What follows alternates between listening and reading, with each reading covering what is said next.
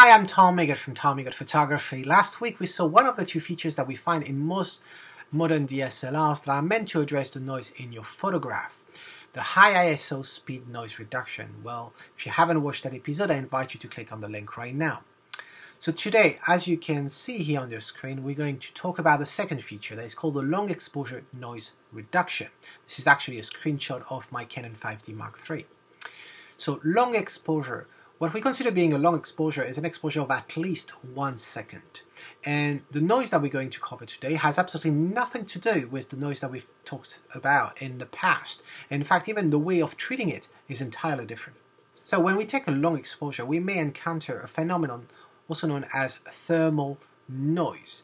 And in order to explain what thermal noise is, I need to remind ourselves uh, what uh, or how your camera actually works. Um, so you have the, the, the, sensor in your camera. It's basically a grid made of light sensors. And when the light hits uh, the light sensors, it produces photoelectrons. So you have current going through uh, your sensor to capture all this. And the longer your exposure, well, with the current, your um, sensor will heat up. And heat up even more as your exposure um, lasts. And so what happens is the heat is actually not very good when it comes to current and um, some of the electrons will be freed up and will collide with other electrons and will basically pollute the information. And that's how you end up getting what we call thermal noise but uh, when you look at your image you end up seeing hot pixels and this is exactly how it look like. Uh, you can get a very vivid uh, red pixel it can be white uh, it can be green um, it can be blue as well do not be confused with dead or stuck pixels. And I, I hear that a lot of people just using them alternatively and meaning the same thing, but they're actually different.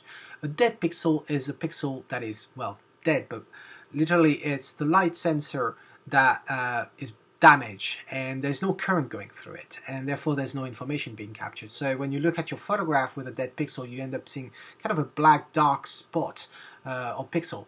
Uh, so that is a dead pixel and you can find it uh, not only on camera sensors but you can find it on um, uh, your computer display for example. And when it's damaged it's damaged. There's nothing you can do about it. Then you have stuck pixel and that's totally different. Uh, this is a pixel that is going to appear pretty vividly uh, red and it's usually one or you may have several but they're usually not next to each other. And that doesn't mean that it's damaged forever so it's just that the information somehow, there is current going through it, but the information is somehow stuck and, and not being uh, read properly. And so that comes and goes. And uh, I must admit, as your camera gets older and used, uh, you're going to be more prone to get this type of uh, stuck pixels. You can find that on um, your computer screen as well, but it may just disappear the same way as it appeared. And in a worst scenario, you can always send it to uh, the manufacturer's service and it can actually uh, repair that for you. Uh, so that's for uh, dead and, and, hot, and stuck pixels and hot pixels, as I said. Um, that's uh, specific to thermal noise. So you, you wouldn't see this on your uh, computer display, for example. One thing to keep in mind is uh, because we're talking about heat over here, the ambient um, temperature has a role to play. So if you were to take a shot, for example, in Scotland, and uh, with the same camera and the same exposure settings, you were taking another shot in the south of France in the middle of the summer, for example, well, the picture in taken in the south of France would be more prone to thermal noise than the one you shot in um, uh, Scotland. Also, using a high ISO value will increase the heat of your sensor and therefore um, accentuate the risk of uh, thermal noise. The camera sensor size as well would actually play a role. Uh, obviously, uh, the full frame sensor will encounter less uh, noise as regular noise, but also less uh, thermal noise. And you can take a rule of thumb where uh, you would have two cameras with the same number of uh, megapixels, uh, but one is a crop sensor camera and the other one would be a full frame. On the crop sensor camera, you have the same number as uh, of megapixels as the full frame, but they're all closer to each other, and so therefore the the risk of having electrons polluting the others uh, is, greater. And also the sensor tends to heat uh, a little bit more because it's, uh, or quicker, because it's, um, it's a smaller surface. So how do we treat this? Well, if you select in the camera, you select the long exposure noise reduction, you have three options. Disabled, which is self-explicit, auto and enabled. Uh, enable will activate itself as long as your exposure is of one second, or at least this is on Canon most cameras. Might be different with yours though. So what does it do exactly when you, when you enable it? Well, it does what we call dark frame subtraction. And so you may, if you've tried this feature, you may have noticed that when you take an exposure, let's say of 5 second, you can hear at the end of the 5 second the shot is finished and you can hear the, uh, the mirror flipping. But the camera is still not letting you take another shot. In fact, you will see it's written busy on it. And uh, it's going to take a while before it actually lets you able to, to, to, to do another shot. The reason being is that the camera, as soon as it finishes the first uh, picture, it will take another one uh, of the same exposure time, but without exposing the sensor to the light. And because the conditions are the same, because the exposure is the same, then uh, that picture, which is going to be black, obviously, will have um, hot pixels in it. And so what it does afterwards is subtract uh, the um, uh, that dark frame of the um, from the the picture, the first one that you took, and that's how it actually deals and remove the hot pixels. And the enable uh, feature, it's, it's, meant to be a smart one. So uh, same, it triggers after the once the exposure is actually at least one second, and um, it's meant to detect whether your exposure will actually need uh, the noise reduction to be applied or not. So I don't have the details obviously around the algorithm behind it, but it's meant to be smarter. So should we actually use that feature, and I'm not talking about the auto, but using the long exposure noise reduction? Well, we've got to do a test. We need to see exactly what the effect is on the uh, on the picture. So to do that, I've taken two shots, and um, to show you the rest, I need to go to uh, Canon DPP. So I've taken two shots, and obviously they're both going to have the same exposure. And as you can imagine, the first shot will have the uh, noise reduction uh, disabled and then the second shot I will enable it. So in terms of the exposure I went with 30 second, the aperture value we don't really care. And the ISO I went with 100. I know I told you that the higher ISO the, the more chances you get to, um, to encounter the thermal noise but I didn't want to mix regular noise and um, thermal noise. Also, I figured that if you were to take a long exposure, you're most likely going to use a uh, smaller ISO value. So I use my Canon 60D because it's a crop factor, uh, crop sensor camera, and of course I would get more um, uh, uh, hot pixels that I would get if I was trying to do the test with a 5D Mark III. So we're going to use a uh, smaller ISO value.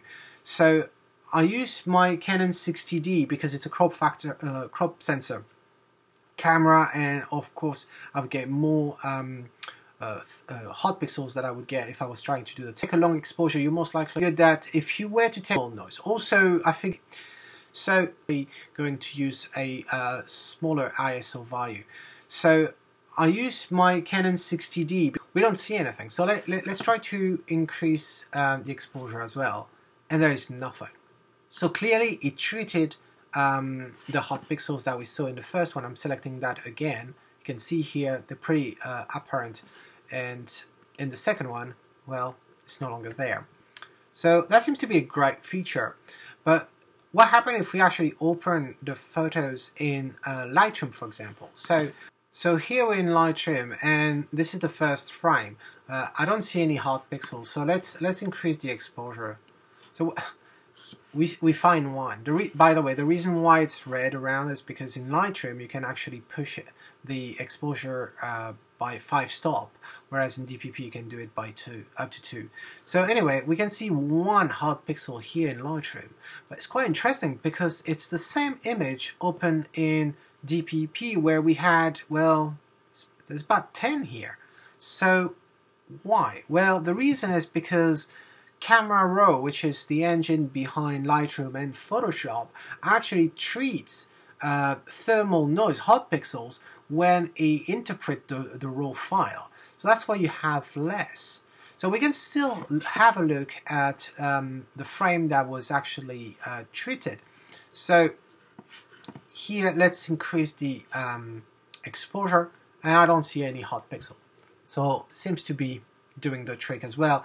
Interestingly, you remember when we talked about the high ISO speed noise reduction tool of the camera, we noticed that that in whatever was done in the camera was only seen in DPP, but was not seen in third-party software like uh, like Lightroom DxO and Photoshop. Um, but here, well, we had one hot pixel in the, the, the frame that was not treated, and we can see that the frame that was treated by the camera actually dealt and we don't have any hot pixel at all. So that treatment actually sustained and remain um, active in the um, in the third-party software as well. So that's pretty good. I did discover something though. If we um, actually bring here and let's say we want to remove this red, so let's let's put the black down and okay, so now we have only one. Now let's go and um, zoom 2 to 1. So we can see our pixel here and we can see a little bit of color red but really not much. I mean it's, it's ridiculous, really nothing. Whereas now if I actually go in that second picture that was uh, treated and same, I'm just going to apply the black.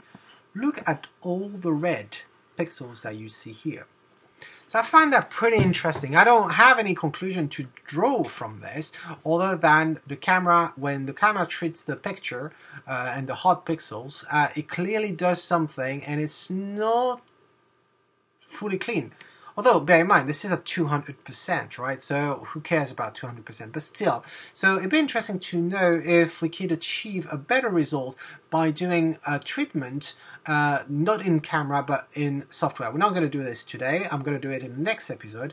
I'm going to use this dark frame subtraction, but I'm going to do it in Photoshop. And we'll see how it compares to, uh, to this. So this is um, this is all the experience. So what what conclusion we can draw? How can we answer this initial question, which was should we use the long um, exposure noise reduction tool of our cameras? Well, like many questions in photography, the answer is it depends. It depends on the scenario that you um, you exposed to. Uh, no pun intended. So because this feature uh, relies on doing this dark frame subtraction and it basically multiply the exposure time by two. So you have the first exposure and then you have exactly the same exposure time for the dark frame. Uh, so it might not be actually uh, great to have this happening when you do the following scenarios. The first one, let's imagine star trail photography. There's two ways of doing star trails and I'll, I'll do a video about it, but in other scenarios, it's not going to work if you use the um, long exposure noise reduction feature. Why? Because if you actually do stacks, so meaning that you're going to take several exposures, well, if in between exposures your camera needs to treat the noise, then at the end you're going to end up having blanks in your trail, so that's not going to work. Uh, then if you do a single exposure, like one hour or three hours, like I've done in the past, well, what's going to happen is that once you take the, let's say, a one hour shot, then it finishes, and then your camera is not going to be responding for another hour. And so that's not great either. Plus, imagine uh, it's going to eat your battery up. So that's not good either. So StarTrail wouldn't work. Then time lapse would not work. If you actually use an intervalometer, uh, it might, it's not going to work with the um, long exposure noise reduction process because uh, when the interval is up, then maybe your camera hasn't finished processing the uh, the dark frame, and, and so it's gonna it's not gonna work. So that's going to fail. Uh, then let's imagine you are taking um, pictures of something that is constantly moving, evolving, and you want to capture this, although you're doing a long exposure, but you still want to capture it, such as maybe a, a sunset or sunrise, and you want to capture these golden hours that we know we don't have much time, but we want to capture all the variants of, uh, of light and maybe the clouds. And so if you enable it, then you, you're going to want to take another shot, but you can't do it because the camera is processing, so you're stuck. So that's not going to work. Uh, another uh, scenario that I could think of, if sometimes if you actually do uh, stack photography and, and composite in, in, in Photoshop, sometimes you may want to capture, I don't know, like um, car trails, you know, with the, with, with the headlights and or the rear lights. And you may want to do several exposures just to increase the the phenomenon of, of the trails. And so that part is, is is rather bright in your image so if you're going to capture several exposure long exposure but you only care about the bright parts the bright zones in your picture then it doesn't really matter to use that tool because the hot pixels are not going to be seen in the bright zone of your pictures. So it wouldn't make any sense to actually use it. So, do I actually use this feature? Well, I must admit, I do not use it. I'm lucky enough to have a 5D Mark III that just doesn't, at least for now, doesn't uh, give me any um, hot pixels. And even if it did, I must admit I'm using Lightroom. So, Lightroom seems to be clearing them out. Um, so no, I do not use it. If I wanted to um, do a very, very long exposure, I may actually do it. Uh, but you know me, I'm not a big fan of processing your image inside the camera. I'd like to think that third-party softwares are much better at doing it. So I would use the another method of doing the dark frame subtraction using uh, Photoshop. And this is exactly what I'm going to cover in the next episode. So, um, I hope you found that informative. Let me know in the comments. Uh, give me a thumb play. That that's always uh, um, pleasing to get. And until then, this is Tom Migot saying, if you like it, well, capture it. Ciao.